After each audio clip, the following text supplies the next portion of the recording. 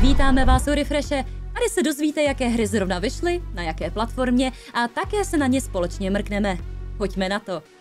3.2. vyšla Persona 3 na PC a konzole. Jedná se o remake hry z roku 2006 s lepší grafikou, bojovým systémem a péči dostal také zvuk. Na všech platformách máte k dispozici jak premium, tak deluxe edici. No, vypadá to docela dobře. Co říkáte?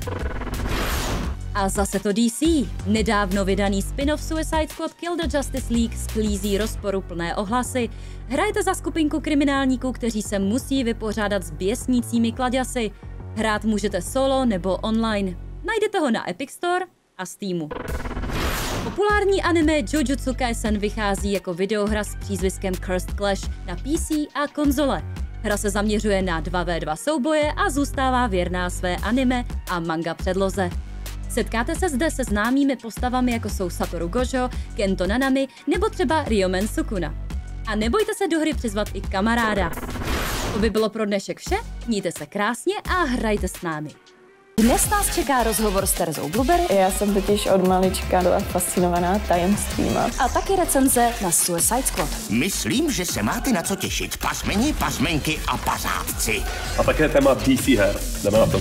Tak já teda jdu. Replay. V sobotu do Polko.